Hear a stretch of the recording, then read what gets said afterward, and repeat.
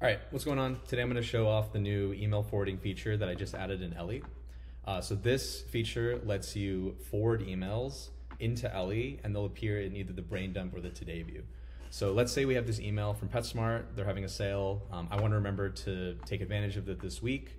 Uh, so I'll go into Ellie, you can go into settings and now there's this new email forwarding section and you have two options. You can either copy this email and have the emails um, appear in the brain dump, or you can copy this one and it'll appear in today. Uh, and it respects your settings, whether you have it appearing at the top or the bottom of the list. So let's say I want to add this to the brain dump because I'll deal with this later, sometime this week.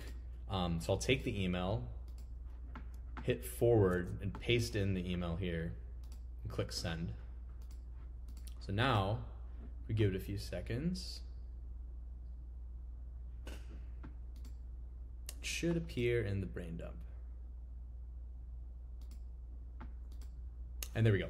Okay, cool. So now, uh, as you see, it appears here. Uh, there's a little indicator that shows that there's an email attachment here, and you can click it, and we actually attach the email directly in here. So you can view it without having to leave um, Ellie, and you can you can't respond to it, but you can click around, click any links, and then add notes. And, do whatever you want to do with this. So yeah, that's the new feature. Let me know if there's any issues or you have any feedback on it.